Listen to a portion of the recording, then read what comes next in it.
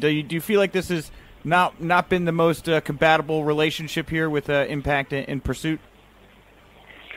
Well, yeah, because unless you, yeah, like, first of all, nobody can get the channel. Second of all, it's like a hunting channel, like, uh, so it's it's like, you know, I mean, it doesn't matter how good you are if nobody's watching you. What you know, and and that's our problem. You know, we are real good right now. You know, I've I've, you know, I've been on and off in Impact um, since uh, 2005, maybe. Yeah. So I've been here quite a while, and uh, you know, so you know, you've got all these great talent that I've been putting over, and that it isn't just being like a company shield. It's just real good talent, real good storylines, but nobody really can see it unless you're, you know, you're going to get on Twitch. A lot of people don't want to go on Twitch, so um, I think now them looking for a better platform, which I think they will find, and uh, it's going to help image-wise, morale-wise, and and people watching, you know, really good product. You uh, do you have an ideal platform in mind? Is there a channel you think that would be a better fit for you? Yeah, guys? I do, but I that's not my my it's not my place to be saying that before Okay. they do. You know what I'm saying?